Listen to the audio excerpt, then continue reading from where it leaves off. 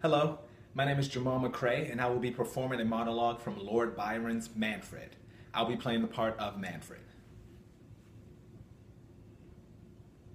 Thou false fiend, thou liest! My life is in its last hour, that I know, nor will redeem a moment of that hour.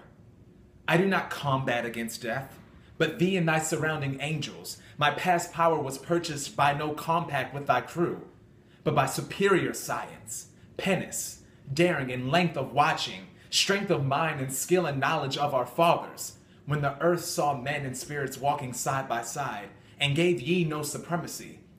I stand upon my strength. I do defy, deny, spurn back, and scorn ye.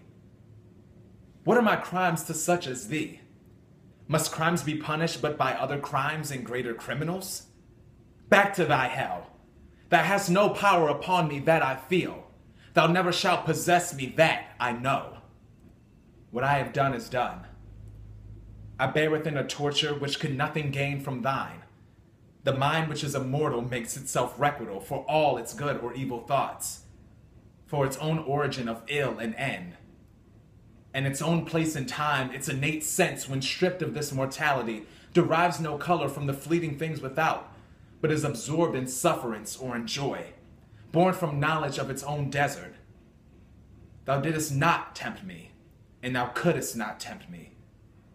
I have not been thy dupe, nor am I thy prey, but was my own destroyer, and will be my own hereafter. Back, ye baffled fiends! The hand of death is on me, but not yours.